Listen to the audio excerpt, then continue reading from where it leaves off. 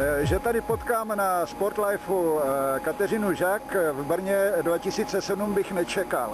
Ona eh, udělala pro nás tu laskavost pro čtenáře našeho webu, že jenom mě odpoví, kde se tady ocitla a jaký je vztah její k cyklistice. Úplně stačí jednou větou, protože vidím, že spěcháte. Můj vztah ke sportům obecně je velmi vřelý a kolo je to, co mám vůbec nejraději. Jezdím sama, jezdím s dětmi, teď je toho času míň, ale kdykoliv se nějaký najde, tak na kolo vyrážíme a občas používám kolo i jako dopravní prostředek, což v Praze ještě stále úplně nejde dobře, ale myslím, že i, i to se zlepšuje a dneska jsem přijela s Martinem Bursíkem, přijeli jsme trochu podpořit všechny, kteří chtějí situaci cyklistů zlepšit a, a podívat se, co je novýho.